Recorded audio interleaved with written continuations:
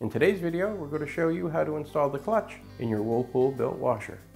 If you're just putting your clutch back on because you had to take it off to change the transmission, then you've got your old clutch to reinstall.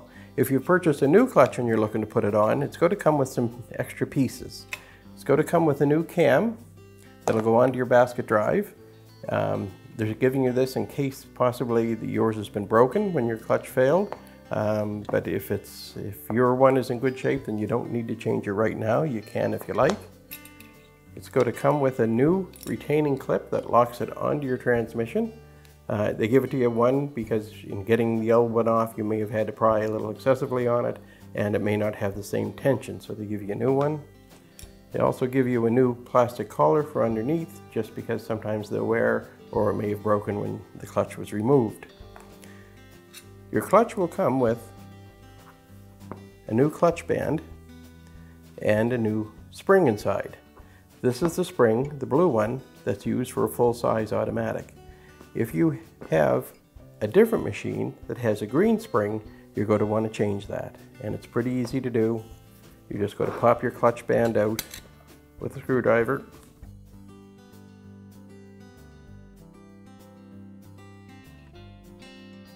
with your clutch band out. You can now separate it, change your spring, and you're good to go. Just reinstall it, reinstall the band. But for this size washer, we want to go with the one that was already in it.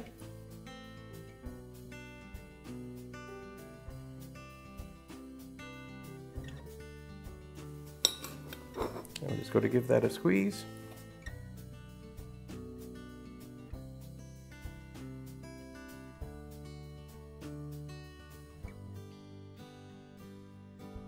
So it's that easy to change that clutch spring if you need to. So to put your clutch in place, insert this white plastic piece, it just snaps in. There's only one way for it to go in, so you don't have to worry about it. Just four tabs, four slots, and you're good to go. Slide that down onto your transmission shaft, over the collar of the transmission. And again, doesn't matter which way, there's four tabs, four slots, same thing. So now we'll want to install our new spring, spring clip that retains your clutch.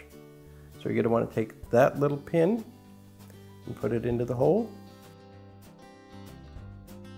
Just rotate it because your spring is going to want to go down into that collar. So you're just going to give that a little push with the screwdriver. Keep locking it down into place. Just push until finally it all snaps in and that's good to go. The next piece you'll want to put on is this uh, big circlip and its whole purpose is to basically slide in and you'll see on your transmission there's a slot right here same on the other side and that's what this clip is sliding into. You're just going to line that clip up into those slots and push it into place. And its whole purpose is to hold that clip in and keep the clutch so it can't lift up too high because there is a certain amount of play in that collar that's supposed to be there, but that's what the clip does. Now all you need to do is to take that thrust collar, you just bring that down on your transmission shaft, slide it all the way down, and just have that one little finger that's protruding from below drop in here on your clip and it just keeps it from rotating all the way around. So if yours does have that extra little thrust washer, just slide that down onto your transmission shaft, let it fall right down onto that washer.